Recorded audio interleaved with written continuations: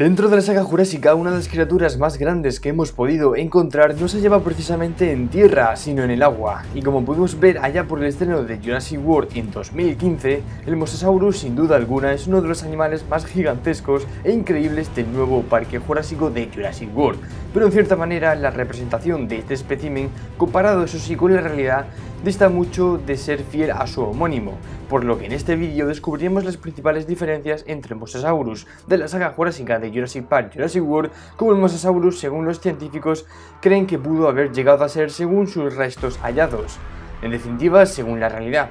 Repasemos sus curiosidades, tamaño, historia y todo lo que lo rodea. Así que sin más que decir, yo soy José Lobo, esto es JoséLex98, ponte bien cómodo y activa la campanita para estar tanto de cada novedad de este mismo canal, que sin más que decir, arrancamos con el vídeo.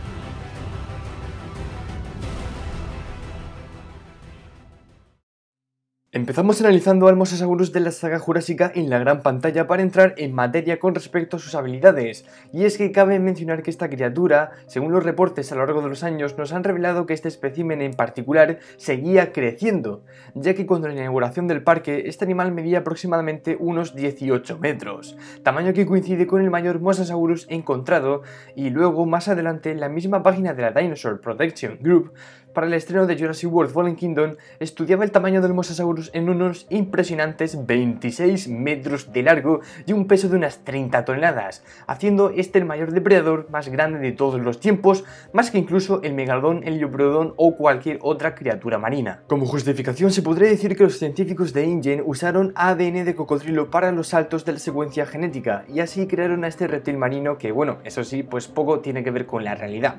La historia de Jurassic World no es que juegue un papel algo realmente importante, salvo porque gracias a él, como ya vimos al final de la película, fue quien derrotó a Indominus Rex devorándolo vivo. Esta acción tampoco sería muy fiel a la realidad que digamos, ya que se estableció en tiempos recientes que estos animales no podían aventurarse a tierra firme como podría hacerlo una tortuga, ya que sus masivos cuerpos se encallarían y el animal moriría por el colapso de su propia caja torácica, ante eso sí pues su enorme peso que destruiría sus pulmones. Según el sitio de la Dinosaur Protection Group, el Mosasaurus para los acontecimientos posteriores al reino caído se haya desaparecido y sin paradero de Isla Nublar y catalogan a esta especie en peligro de extinción. Aparece en el Jurassic World Facts de Mattel para dispositivos móviles y por los informes y reportes que puedan aparecer, esta criatura habría sido vista por las costas de Costa Rica y quién sabe si todavía seguirá creciendo, que es probable que sí, de incluso a llegar a medir los 30 metros para Jurassic World 3, si no acaban eso sí antes con este mismo animal, ya que al librar a la criatura de su recinto en el lago,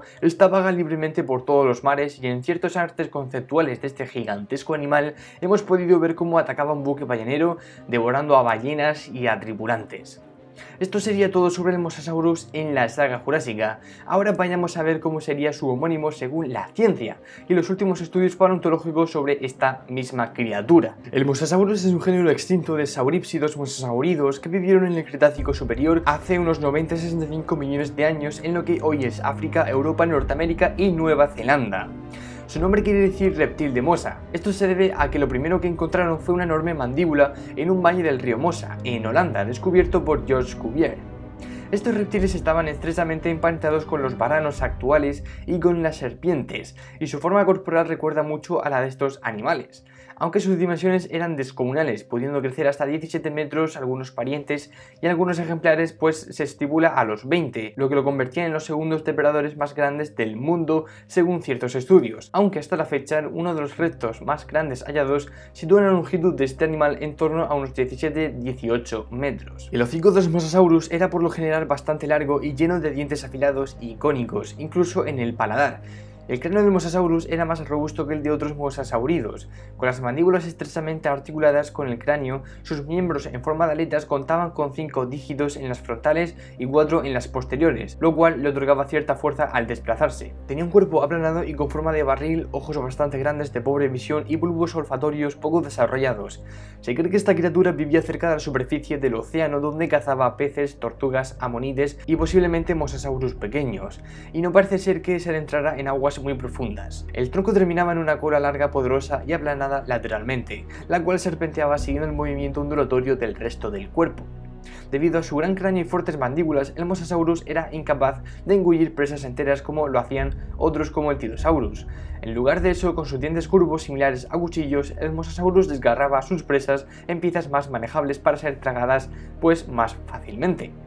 Los mosasaurus eran depredadores, pero se cree que ciertos individuos se especializaron en presas más concretas de otros nichos ecológicos, como alimentándose de otros grandes animales de las aguas hasta alimentos como crustáceos o conchas marinas. En definitiva, hemos podido resaltar unas cuantas características de ambas especies que realmente los diferencian como puedan ser bien su tamaño, su cabeza, forma del cuerpo, alimentación, fisionomía, la excesiva presencia de protuberancias escamosas del Mosasaurus del parque llega a distar bastante de la realidad, y ese gran cambio es debido a lo de los genes añadidos para completar la secuencia de este animal, como lo fueron, pues, bien visto la del cocodrilo. De hecho, cierto parecido con estos reptiles modernos de hoy en día, como ya hemos dicho, como ya hemos mencionado anteriormente. El Mosasaurus del parque tiene toda la pinta de ser el mayor depredador de la cadena trófica, ya que se alimenta ya no solo de grandes pescados, sino también de incluso grandes mamíferos o reptiles como el mismísimo Indominus rex, que no duda en devorarlo e incluso a los pteranodones entran también en su menú. E incluso para futuras apariciones de este animal, seguro grandes ballenas y cetáceos estarán dentro de su lista de comida. Por otro lado, su homónimo en la realidad, a pesar de ser un predador, quizás y dependiendo de su entorno, se adaptase a presas más escuetas y simples como calamares, moluscos, crustáceos y demás pequeños animales,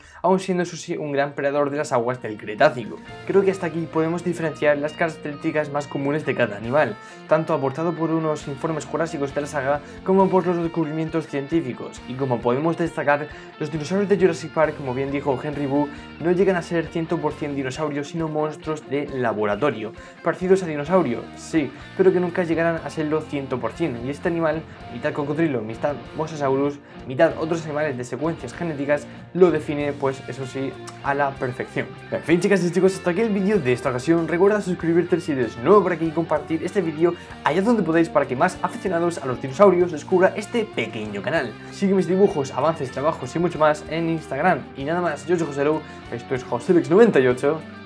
Comenta, comparte, disfruta.